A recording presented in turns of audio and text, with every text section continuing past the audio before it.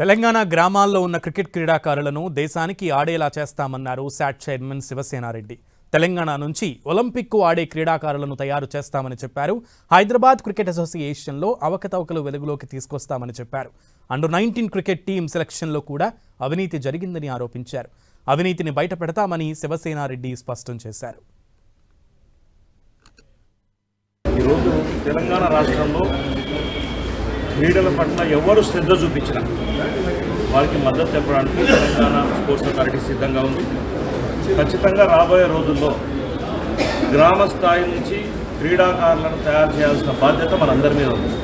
రాబోయే రోజుల్లో CM cup ద్వారా విద్యార్థుల పక్షాన గ్రామ స్థాయి నుంచి కూడా ప్రతి ఒక్క స్పోర్ట్స్మెన్స్ అందరినీ తయారు చేసే ప్రక్రియ ఈరోజు సీఎం సీఎం కప్ ఏర్పాటు చేస్తున్నాం అందులో కూడా మొట్టమొదటిసారిగా గ్రామ స్థాయి నుంచి కూడా క్రికెట్ని ఏర్పాటు చేయడం జరిగింది. తప్పకుండా వీటన్నింటినీ ముఖ్యమంత్రి గారి దృష్టికి తీసుకెళ్తాం